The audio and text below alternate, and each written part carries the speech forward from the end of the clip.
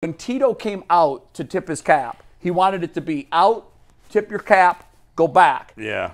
Jose Ramirez blocked his path back into the dugout. He was blocking the steps to come back. So he had to stay out there and acknowledge the fans. And it was a thing of beauty. And then at one point, the whole Guardians team sort of circled Yeah. that way. So he had to stay out there. It, it makes Terry wildly uncomfortable to be in the spotlight, but I loved every second of it because you could tell, you could feel the love both ways.